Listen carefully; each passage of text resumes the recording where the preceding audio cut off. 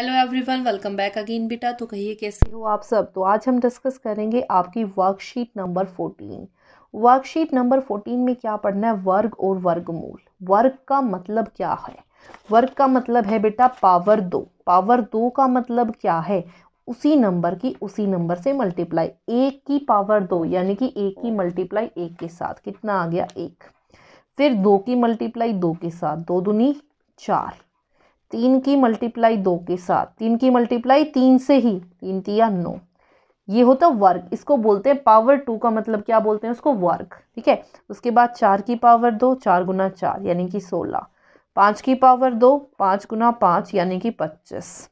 छः का स्क्वायर यानी कि छः गुना छः, छत्तीस। सात का स्क्वायर सात गुना सात, यानी कि उनचास। आठ का स्क्वायर आठ गुना आठ, चौंसठ। नौ का स्क्वायर, नौ गुना नौ, इक्यासी, दस का स्क्वायर, दस गुना दस, यानी कि सौ।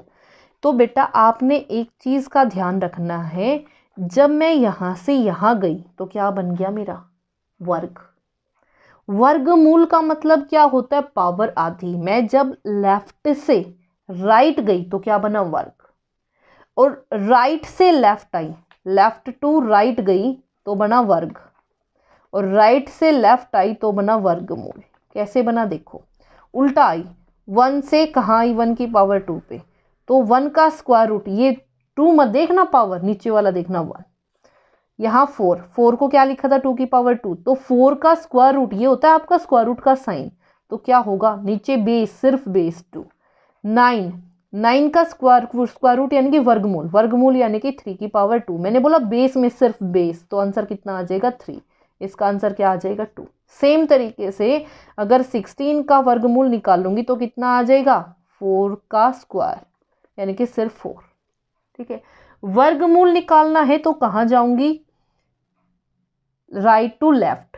और सिर्फ़ बेस पे, पावर को नहीं देखूँगी, बेस पावर के नीचे क्या लिखा? वो आपका वर्गमूल। ठीक है? और अगर right to left left to right गई तो वो आपका क्या है? वर्ग। अब उसके बाद आता है सबसे पूर्ण वर्ग, एक वर्ड यूज़ हो रहा है, पूर्ण वर्ग। पूर्ण वर्ग वो नंबर होता है जिसका वर्गमूल हो सकता है, जिसका वर्गमूल हो सकता है।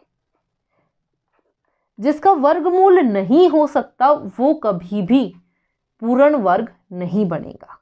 ठीक है?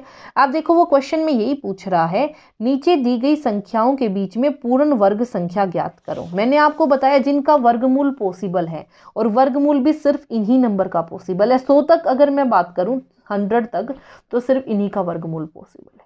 तो इसने किसके बीच में बात की? चालीस और पचास। चालीस और पचास के बीच में सिर्फ़ एक ही नंबर है जिसका वर्गमूल पॉसिबल है, वो है उनचास। उनचास का वर्गमूल क्या होता है? सात। सिर्फ़ एक ही नंबर तो कितना आ गया? उनचास। आगे देखो। साठ और सत्तर, साठ और सत्तर के बीच में सिर्फ़ एक ही नंबर आ रहा है, कौन सा ये? तो आंसर क्या आ गया? चौसठ। ठीक है? समझ आ गया? तो बेटा, ये थी आपकी आज की worksheet I hope it is clear to every one and if you like it then please share and subscribe thank you so much